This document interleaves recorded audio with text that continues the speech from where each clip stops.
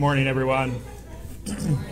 so glad to see you. Um, we uh, want to take a moment just to just thank the Lord for His goodness. He's been so good and faithful. What, what's a way that God has has uh, shown up in your life this week?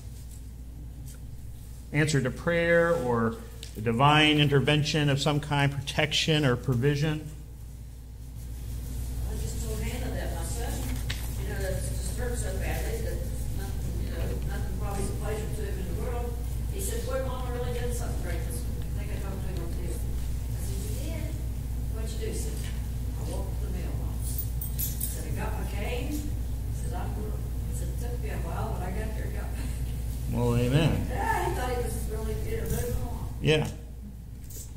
He was.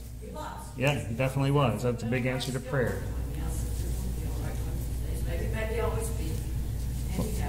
Yeah. So, someone else, someone, someone who's just experienced God wants to thank God for showing up, for protecting or providing.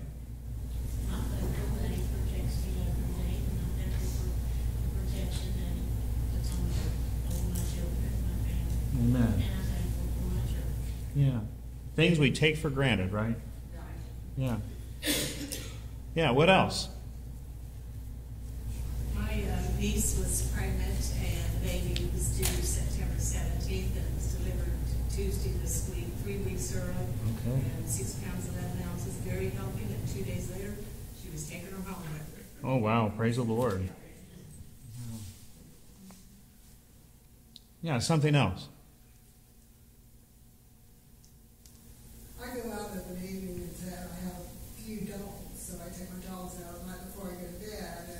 we have a flagpole with a flag on it at the side of the house, and I've got, I don't know, the last couple of months or so, I always make it, of allegiance to the flag, and I feel it's calm. You know, it's just, you're out in the dark, and you look around, and like, like last night, I was out, and I seen the, I seen the bat coming at me, and I thought, tell me what that's for, and just that time alone, you know, when you really stop and think about the moon and, and the clouds and the stars and how everything is just made so perfectly by Him. And, you know, I always thank the Lord for these times that He makes me take notice of things like that. Mm, amen. yeah, a lot of things we don't realize have worth and value and serve God's purpose. You know, even bats. Your mosquito problem would be so much worse without it, wouldn't it? Yeah. Yeah, and even the moon, you know, it, it helps to keep our, our oceans uh, healthier because of the tides and so forth. Yeah. Yeah. I had a few hours of really being upset last night. I thought I'd lost my license. And I was going through everything. I thought I used to put Carolyn I went to my car, we went to Walmart where I last used it and everything. And we were praying about it all the time. I said, I said a prayer for you to find that thing. And I said, it's just to the point I was going to start calling everybody and can't, you know, uh, canceling them out. And then I thought, I'm going to try one last place. And I did. And you know where I found it? In my bag with my Bible. Oh. So let that be a reminder to you when you're feeling lost, go to the Bible, right? Yeah. I said, I had texted my son, and he says, he was keeping it safe for me. Uh, it looks that way, doesn't it? Amen. Well, let's go ahead and uh, go to the Lord in prayer. And um, um, I, I, will go ahead and share at this point, too, that uh, there is children's worship today. I, I, don't know if we have. Um, okay, yes. All right, so um, at the way children's worship will work, because we're just kind of starting that, is after singing, the children's worship leader will leave and take any children with them into that time. And um, and they'll be for the remainder of the service in that area. So, does that sound all right? That's the plan. All right. So let's pray. Father, we just bless your name. We, Lord, we rejoice in who you are. We rejoice, Lord God, in the fact that we have the honor and the privilege of coming together in the name of Jesus, Father. Lord, to know you, to, to worship you, to exalt your name, to seek your will, Lord, to, to be thoroughly renewed, Lord, in our mind and spirit, Father, as we come in the context, Lord, of this worship time, Lord. We open your word together, we pray together, we sing your praises together, Lord, so that, Lord, we may know you better. And that you, Lord, will be lifted up in our lives, in our attitude, our regard, Father, the affections of our heart, and then, Lord, in our obedience as we leave here and go into the wide world around us. Lord God, we pray that, that as your Spirit works in us, Lord, that we will live lives of faith in you that yield, Lord, the fruit, Lord, that you desire for us. Uh, fruits of joy and peace, Lord, and that testimony that glorifies you to a watching world. And Lord, we thank you for all the ways that you've demonstrated faithfulness in this past week by providing and guiding us and helping and healing and, Lord, renewing us and, and helping us, Lord, to, to know, Lord, that we're not alone. And Lord, we praise you for all those ways that you do those things that we don't even know about. We praise you because you're a faithful, good Father. You're a good shepherd, Lord, and we thank you that we are your sheep. Lord, we lift up the requests that have been mentioned to you, Lord God, the unspoken requests and the, the specific requests, Lord. The need, Lord, for help and guidance and comfort where there's been loss. Lord, for uh, Lord, uh, for the knowledge, Lord, that, that you're faithful, Lord for the, the strength that we need, Lord, to, to fully obey you in every area of our lives. Father, help us, Lord, today to, to know that you're here, to trust, Lord, your word, and to, Lord, yield lives of worship to you as we walk out of here, Lord, renewed in our minds, renewed in our spirit, Lord, ready to bear fruit for you as you lead us. We pray, Lord, that you'll help us to continue to uphold, Lord, one another in prayer as we seek to uplift the name of Jesus. We pray all of this in Jesus' name. Amen. So if you would stand, please. I meant to tell you that beforehand, but it's all right. We're going to join together in our congregational scripture reading from Romans chapter 8, verses 31 through 34 and listen deeply to the words. What then shall we say to these things? If God is for us, who can be against us? He who did not spare his own son, but gave him up for us all, how can he not also with him graciously give us all things? Who shall bring any charge against God's elect? It is God who justifies. Who is to condemn? Christ Jesus is the one who died, more than that, who was raised, who is at the right hand of God, who indeed is interceding for us. Amen. As they come and prepare to lead us in worship, I'll share with you a, just a, a, quote that uh, A.W. Tozer, who was a pastor many years ago, and he said, The church that cannot worship must be entertained. And men who cannot lead a church to worship must provide the entertainment. And I wanted us to take to heart the importance of what true worship is. It's our seeking together the lifting up of Jesus. And so this isn't about us um, pursuing an experience, although, although as we seek Him, He'll provide what we need. He'll give us the comfort, the encouragement, the, and renew in us the joy and the peace that we have in Him. So don't come seeking to be entertained ever to church. Seek to come to know him better and to exalt that name, that name of Jesus. First.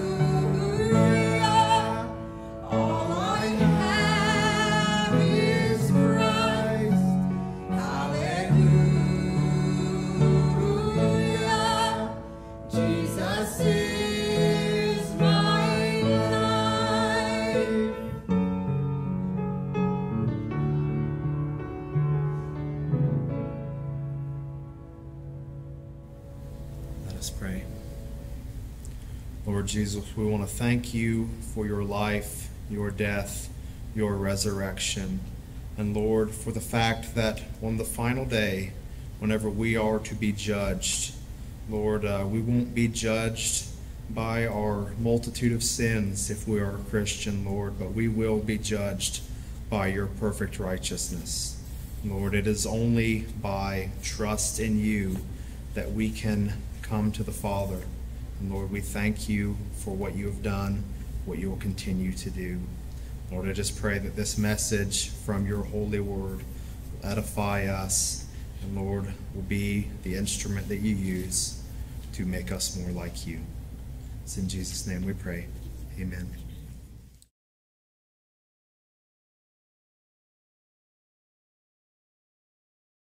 Kind of continuing in the vein of uh, discussion we have been in from the beginning uh, as they go to lead worship, children's worship. want to present to you just a quick idea. This is not really necessarily the overall gist of the message per se, but something to think about. Worship is not about making much of what is small, like a microscope. It's not about inflating ourselves and, and, and puffing ourselves up. We in our weakness, we in our smallness in the huge, huge universe. Worship is about bringing close or bringing us close to that which is truly grand and great. Think about it. You have a microscope, what do you do? What are you looking at? You're looking at something that's very small, right? Making it look large, but it's not large. It's not great. A telescope does what? It brings the, the perspective of something that is huge and far off, maybe light years and light years away, close to you, so you can see more intimately its grandeur, whether it's a nebula or as uh, the uh, James Webb telescope in operation has brought even even the most distant things in the universe closer to hand for us to see and uh, challenges us in the fact that we have a God who created those things. The stars, the sky, they tell the, the grandeur of the, of the greatness of God. Worship, then, is more like the telescope than the microscope, in that God, who is huge, infinitely huge, infinitely grand and glorious, when we say, that, and the Psalms tell us to magnify the Lord, it doesn't mean to make greater that which is already great. What it means is for us to appreciate its greatness. So worship orients us not to us and those little details of ourselves and our lives that we like to would like in our flesh to make much of. Those worship brings us to the greatness of God, renews in us that perspective that this God who's in control of the whole wide universe is in command of my destiny. And I hope that, that worship, the greatness of God, its purpose, how it fuels your faith and renews your mind, I hope that that carries you in those moments when your problems seem too big to handle and you realize that your strength, as great as you thought it might have been, turns out to be not so great after all, too little to meet the need of the day. I love the fact that we can worship individually and privately, and then also together. I love the fact that we can look at the greatness of God through the telescope of His Word, and that greatness as He shows us himself through the person of Jesus, how he comes close to us. I'd like for us to pray, and then we'll uh, get into some scriptures, I think. Father, we just praise your name, and we thank you, Lord, that as we've gathered here today, Lord, that your Spirit is faithful to align our minds and our hearts as we surrender to you to the truth of your word, Lord, and to the reality of your love. We thank you, Lord, that your purpose here today is that we might be conformed to the person, the image of Christ, that we might come out of here, Lord, looking more like him, loving more like him, having that peace that sustained him in spite of all those things, Lord, that would have seemed like they were going wrong and yet served your purpose. How he had peace and all those things. Lord, how we, too, because of your goodness, Father, might experience that same peace no matter what is happening. That we might, Lord, be able to be vessels of your truth as we live obediently to your words. But Father, we thank you that in this time, Lord, you speak to us. As we read your word, as we contemplate those things that you've spoken, Lord, they're for us. And we thank you that you've given us ears to hear and hearts to receive. We pray this in Jesus' name. Amen.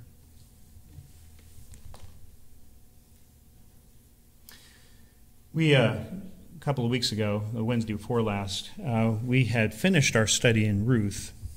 And uh, it's a beautiful study. I love the book of Ruth. It's short. That's not why I love it. But I love the book of Ruth because it's, it's, it's such a graceful picture of a Redeemer and how that Redeemer, who happens to be Boaz, is a foretelling of the coming Messiah, who is Jesus. I love the book of Ruth. And it's interesting as we conclude the book of Ruth that, that uh, uh, we come to the end of it and we see those references to the house of David and so forth. And I was thinking about how it sets us up for the next chapter, which we're not actually going to continue in that in the Wednesday Bible studies, but I'll say this that that the book of Ruth sets us up for the calling of David. And I was thinking, of course, about the most famous story of David, which is what? It's David and Goliath. There are a lot of stories about David, but that's the one that we know even in our earliest days. And you know the story, right? You know the story how from 1 Samuel chapter 17, Daniel, or David, excuse me, gets, you know, sometimes my mouth does tricks on me and I'll say the wrong thing. So you can catch me when I do that. Just do it nicely and I'll be okay. How David, as he uh, sees the armies of God, the people of God's covenant, tremble and cower before an alien army that does not know God, the Philistines. And they cower in part because of the greatness, what their fleshly human eyes tell them is the greatness of the champion of the Philistines, who is, who is it? Goliath. Goliath. That's right. And nobody would go. You, you know the story, right? Nobody would go. Nobody would dare stand up against Goliath until David came along, right? And I'm not going to read the whole account. I invite you to read any of the several passages I'll refer to today in detail. But uh, he comes along, and uh, he's astounded that the people of the covenant, the people of the promises of God, are trembling, they're cowering, they're unable to stand against this champion of darkness.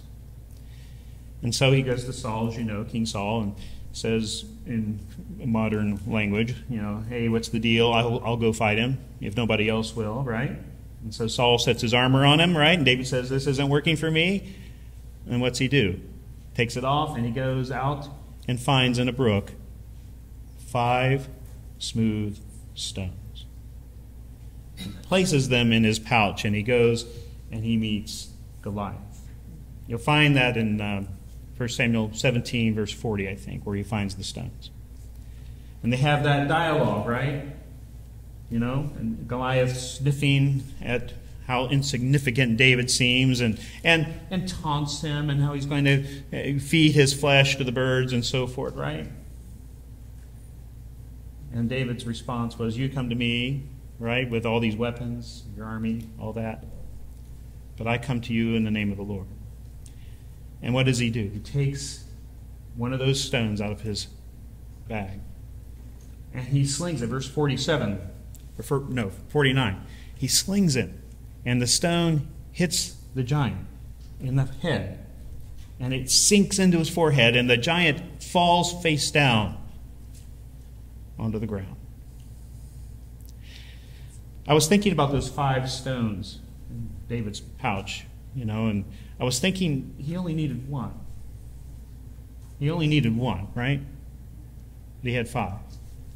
I was thinking about how, in many ways, those stones are representative of certain stones that we read about in the Scripture. Of course, that, those, that stone that knocks Goliath down in the first place is that it reminded me of the stone of calling.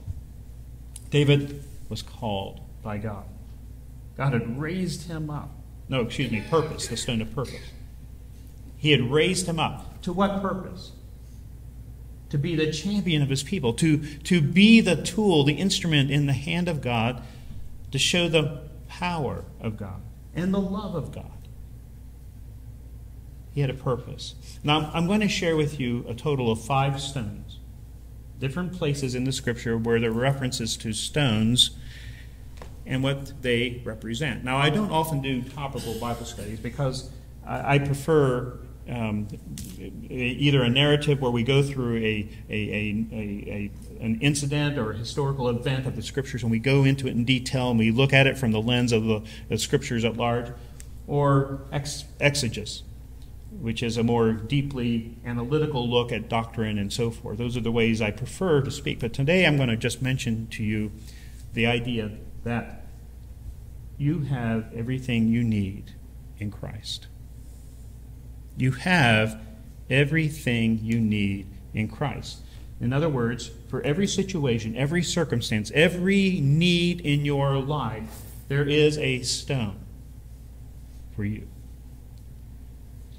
He only used one stone because in that particular context, he only needed that stone. And in different situations, as you go through the calling that God has given to you, because again, you are called, you are called to be a part of the story of God. David's story isn't just David's story, is it? It's part of the story of God, the God of the, of, of the entirety of the scriptures, the God of all of history. And David had a calling to play, a calling to be a part of that story. And you and I have a part to play also. You and I have a calling to know him and in walking with him to allow the purposes of God to be accomplished in our lives. And know this that everything that God intends to do in your life and everything that He intends to do through your life, He equips you to do. There is no one in here, including myself, that can look at something that God moves us to address, whether it's talking to a lost loved one, when it's, when it's confronting something that's unjust. There is no one in this room who can look at that and say, I'm too weak to do it so I won't. I will agree with you that on your own you are too weak to do it. You're not wise enough to do it. You're not loving enough to do it. You're not strong enough to do it. But God, who works in his people, is strong enough, and he's loving enough, and he's powerful enough and faithful enough to do through you, through your life of obedience, what needs to be done. So, for every situation, every circumstance that God places in your path and calls you to address, He places in the, the bag of resources that He is to you and gives to you those things that you need, the right thing at the right time, the right words to speak, the right way to, to stand against something that's wrong. You and I cannot be a people who are so cold in our relationship to Him and to the fact that God is faithful who calls us that we remain dormant and inactive and fruitless. You and I have a calling, a calling to know Him. I'll leave it at that. That calling to know Him, because through that, if you honor that, you pursue that, it is through that calling to know Him, that He makes Himself known. It is that calling that allows Him to equip you and empower you to place in your hand the stone that you need. A stone that's rounded, you know, He picks up these rounded stones that are shaped by the waters that had flowed over them, right? Shaped. And think of this that the God who allowed him to find those, those stones placed those stones there countless years before David arrived to pick it up. I think of this that the God who calls you and the God who calls me, that He's already been at work placing into our path those things that we need when we need them. God is not the God of afterthought. He's not the God of afterthought. He never comes to a situation in your life that He says, Ooh, I forgot about that. I never saw that coming. What am I going to do with this? He never says that. He doesn't need to say that because he's been at work already in your, your preparation to put in your path the stones that you need. You have a calling. And knowing that, knowing that, knowing that with that calling comes that empowerment, comes the equipping, comes the resources that we need when we need them. Maybe, not before, but when you need them. In Genesis chapter 28, we read about Jacob who is uh, running from his brother Esau. And he's tried to live life on his own terms. He's tried to do it in his own way. And whereas David's stone represents the purpose for which he's been called, Jacob's stone, in some ways, represents the call itself. You know what he does at a place called Bethel? He stops for the night. He finds a stone and he uses it for a pillow. And in the night, God speaks to him and tells him about all the things he's going to do through Jacob's life. All the things that are going to happen, which seems probably to Jacob in that moment incomprehensible because all of Jacob's life up to that point has been lived selfishly. Living according to his own senses, his own wisdom. And so he does things that have these consequences, which is why he's on the run from his brother Esau. God declares to him a covenant. A covenant, a calling. You know, Jacob is the founding father of the nation of Israel. You know what Jacob's other name is, right? Israel. In the morning, Jacob, having awakened after that conversation with God, takes the pillow and sets it up as a pillar a monument. And in that moment, declares that this is a testimony of the fact that God has called me. Not for my own sake, not because I deserve it, because clearly He has not, but because of His purposes, because of who God is. Understand that the calling that God has given to you, it's not based on whether or not you deserve it, because you don't, and I don't. It's extended to you because God is gracious, and it is extended to you because of who He is. God has given you a calling. He's given you a purpose, but He's given you a calling because of who He is. It is through your life that God has chosen to make His glory known. Your life, my life, our life together as His people.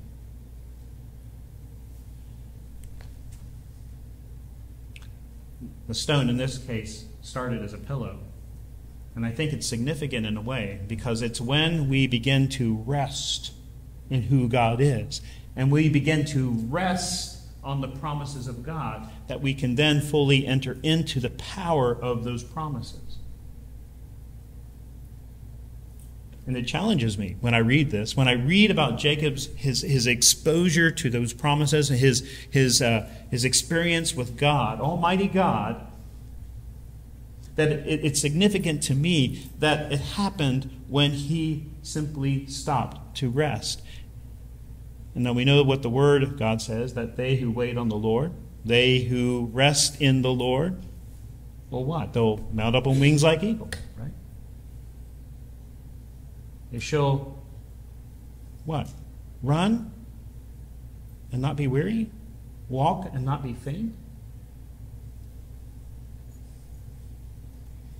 In Hebrews, it tells us that, uh, in chapter 4, it tells us that there remains then a rest for the people of God. Why is that important?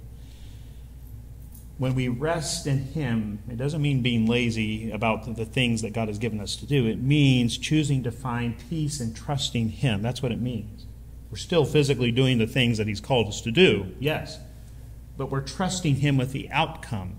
We're trusting Him with the results. There remains, therefore, then, a rest for the people of God. And, that, and, and the rest that God grants us and our calling his, as his children allows his promises to come to fruition on God's terms in God's way. And therefore, God is glorified. And what that means is that I experience more of God. God doesn't want you to experience more of you, He wants you to experience more of Him. And that's the nature of the invitation that, he, that He's given to you and to me. That's the essence of the calling that He gave to Jacob here and gives to you today.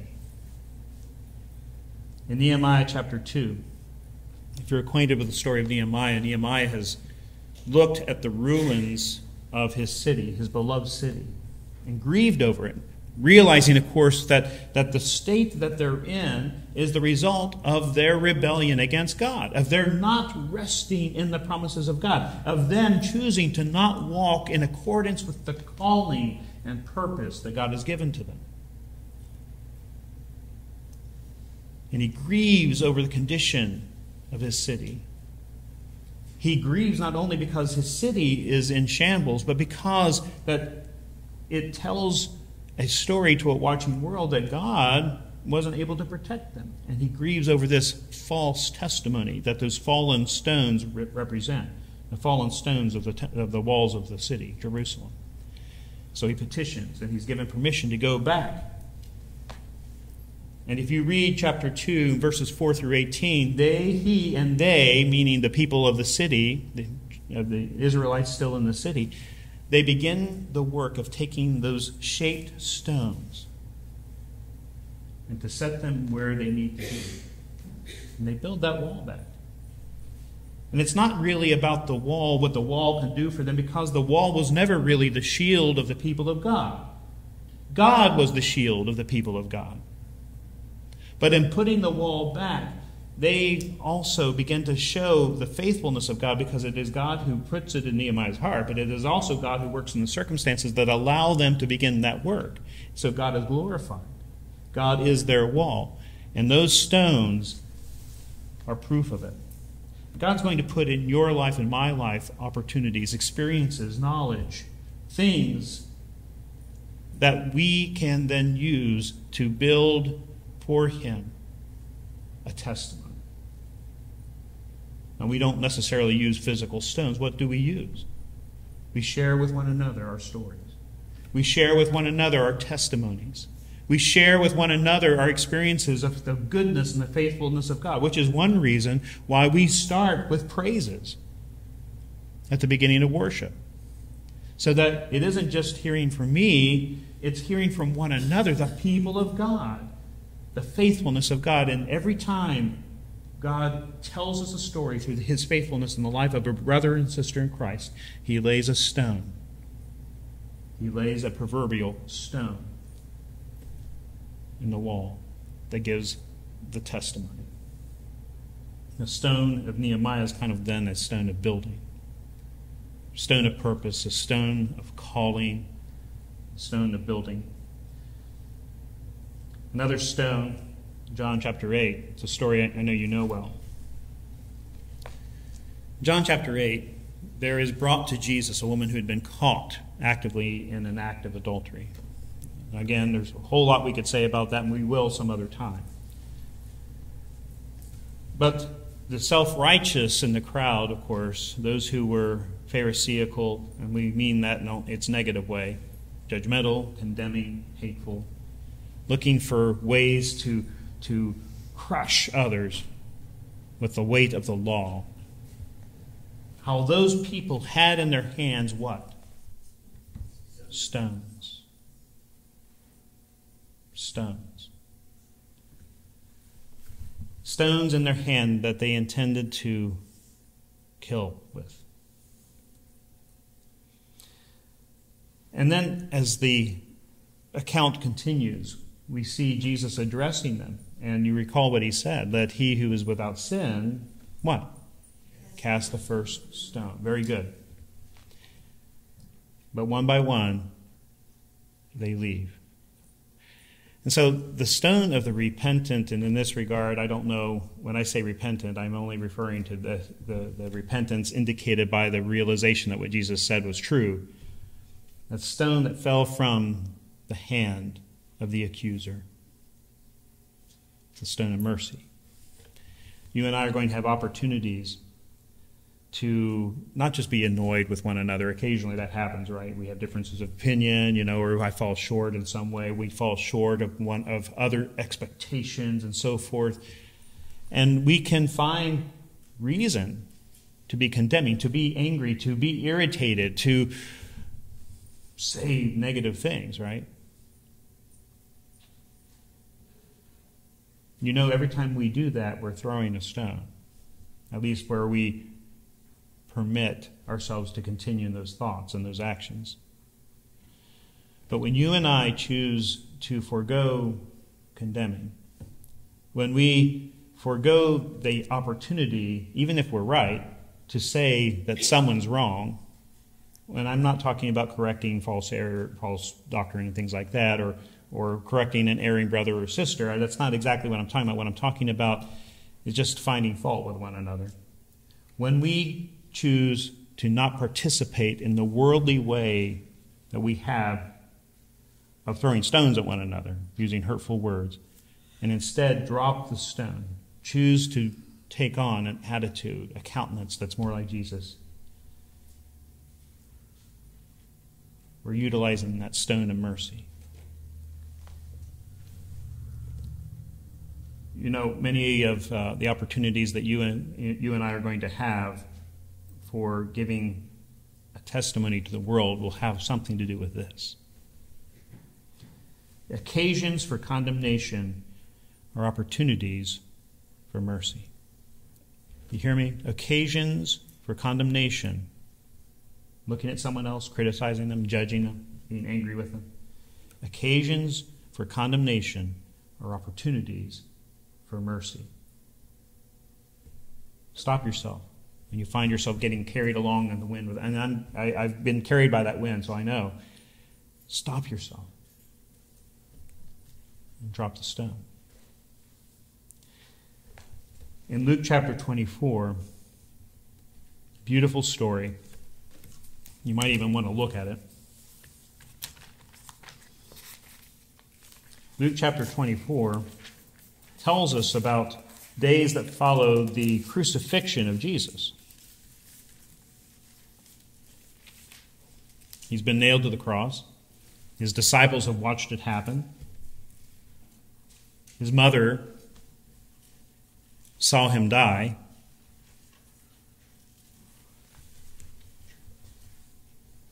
They take his body now, down, as you know, and they seal him in a tomb. And what do they seal him with? But a huge stone, especially prepared for that purpose. Sometimes we'll talk about the cross, you know, and the wood, those coarse wood beams, and how significant that is that, that the God who created the trees from which that wood came allowed those trees to grow. How the God who made the world and everything in it. All the stone, all the rock, all in addition to all those other elements, the, the, waves, the wind, and so forth. How the God who made that stone allowed that stone to be shaped and used in such a way that men wanting to contain Jesus roll it in front of a tomb to keep him there. You know why he did, of course, so that he would be glorified in what he's about to do here. And in chapter 24, it tells us that when they come to the tomb, what do they find? But the stone rolled away. Verse 2, chapter 24. Here's a stone, another stone just shaped for a particular purpose. Meant to keep Jesus in by humanity, but meant by God to be part of the story of victory. I think about the stone of new life. I was thinking about how you and I, in our earthly experience, in the problems that we come up against, the obstacles that, that are in our paths to, to just simply live life, the things that come up, whether sickness or unexpected partings, financial problems, persecution, and so on. How those obstacles, how those things that, that are permitted in our lives, how they threaten to seal us into a tomb of self pity and defeat, of sadness and discouragement. But those same obstacles, barring our paths, they're no greater a stone to God than the stone that held Jesus in his tomb.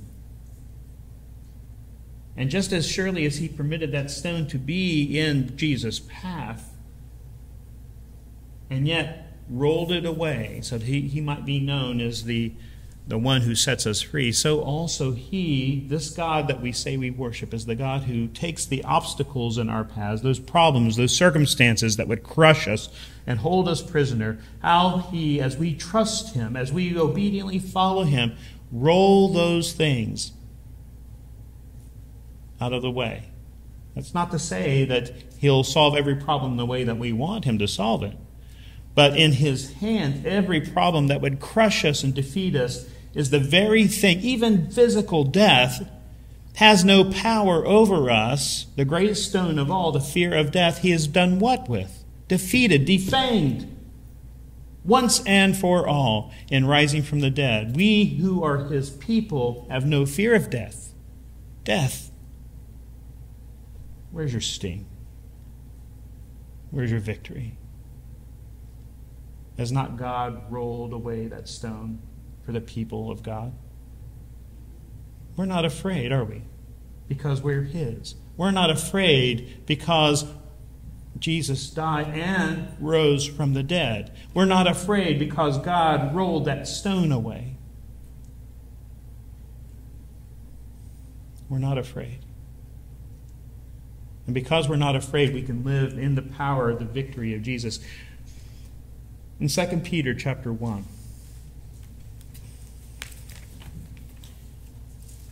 powerful passage, or chapter 2, excuse me. Chap, or 2 Peter chapter 1, right. Verses 3 and 4. It says that his divine power has given us everything we need for life and godliness through our knowledge of Him who called us by His own glory and goodness.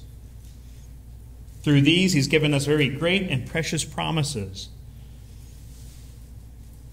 so that we may escape the corruption in the world caused by evil desires and participate or walk in His divine nature.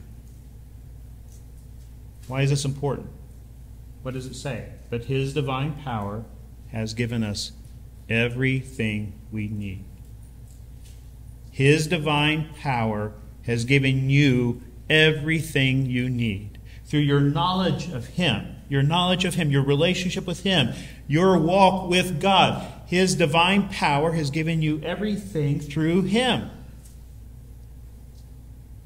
To walk in victory, to walk in joy, to walk in faith, and to be able to rest in his promises, to rest in your purpose, to rest in your calling, to allow this God who has called you to build through you a testimony of glory to his name. It's given you everything you need, even the ability to be merciful.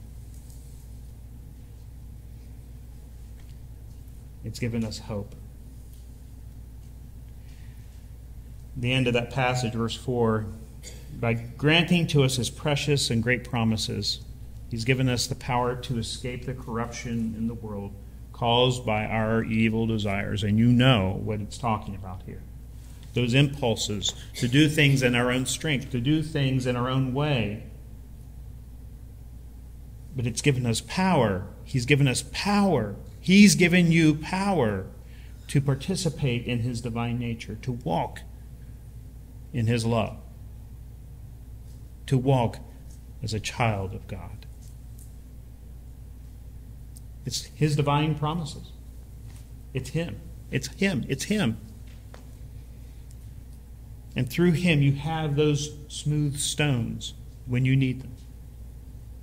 You have what you need at every moment of every day. Whether you actively engage that, whether or not you take up that stone and have it in your hand in the way that He wants you to, and do with it what He gives you the opportunity to do, that, that's, that has everything to do with your trusting His promises.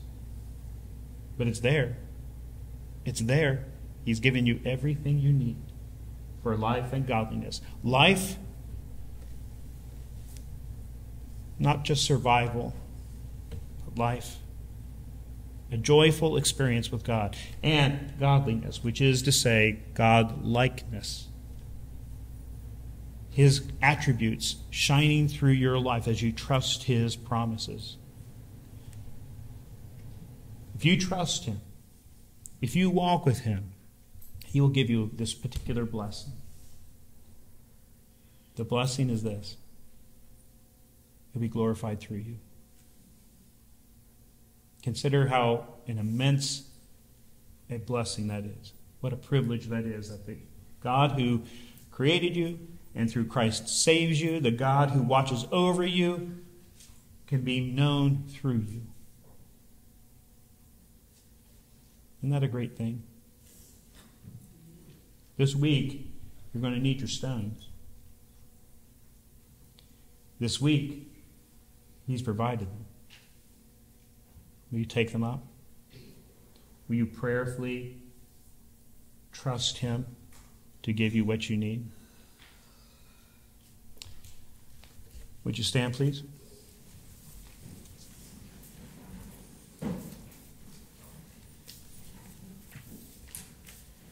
Let's pray together. Father God, we thank you and we bless you that you have given us everything we need for life and godliness. We thank you, Lord, that in allowing us and calling us to know you through Jesus, Lord, that you give us the gifts, Lord, of purpose, of calling. There's a, there's a, there's a reason why we're here, Lord. And there's a connection, if we'll heed it, Father, there's a connection to you, a calling, a place of belonging with you. Lord, you have given us everything we need, Lord. So as we look into this week, Lord, and we think about what's going to happen and where we're going to be and what we might be tempted to do, Lord, and how we're going to need your help, Lord, we know because your word declares it that we'll have what we need. And so, Lord, help us to yield to you and to trust you now so that, Lord, we're in the frame of mind and in the attitude of heart, Lord that helps us, Lord, to be looking to you and allowing you, Lord, through us to do what you want to do this week. And Lord, I thank you that what you want to do through us, it'll bless us. It'll bless us as, as we see you work through our lives, Lord, and, and you do that thing, Lord, that you do so well, those things of grace. Lord, you will build our faith. You'll increase our joy and our peace. We thank you for that. And help us, Lord, to be on your page be attentive, to be alert, to be seeking you with all our heart, Lord, because these things, these divine and precious promises, they come through our knowledge of you, our knowing you personally, our relationship with you, our, our abiding in your word, and our time in prayer. They come, Lord, from that relationship. So, Lord, we thank you. We give you praise already for how you're going to be working this week. May our lives be yielded to you so that you might work through us. We pray this in Jesus' name. Amen. In Joshua chapter 4, as God is bringing his people over the Jordan, they have dry ground to walk on. They go through that, humanly speaking, barrier tells them the four-day cross. I want us to find for every tribe stone. And they all gather stone. And then after God brings them through, he dries up the Jordan, and they get through, and they come to the other side. They set those stones up. Those 12 stones of remembrance. There's a lot of stone talk, isn't there, in the scripture? God's doing the work in he invites you to yield to, to trust Him. There's an area in your life that you are not trusting your future, your health, someone else, relationships, financial things, but if you're not trusting Him, He's inviting you to lay that at His feet and to trust Him because His divine power is giving you everything you need for your knowledge of Him who has called you by His own glory and goodness. He calls you by His own glory and goodness because our glory and goodness isn't worth it. So He calls us in accordance with who He who we are. That's grace. So you, trust Him. He's going to work in your life. You obey Him, there will be fruit. You may not see it right away, but you can rest assured that God who's called you will accomplish everything He intends. As God blesses us through this song, consider in your life and whether or not you're resting in Him and trusting Him. I need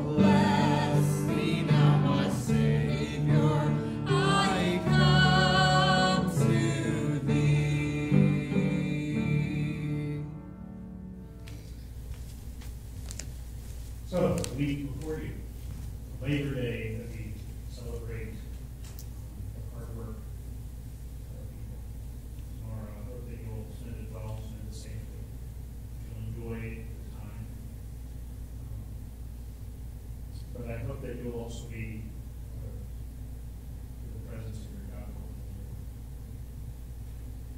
The Lord bless you, and keep you, and make his face shine upon you, and be gracious. May your spirit be encouraged, knowing that the God who has called you is the God who has declared purpose for your life. And promise his ongoing presence to aid you and support you. His truth strengthen you, his promises encourage you, may his comforts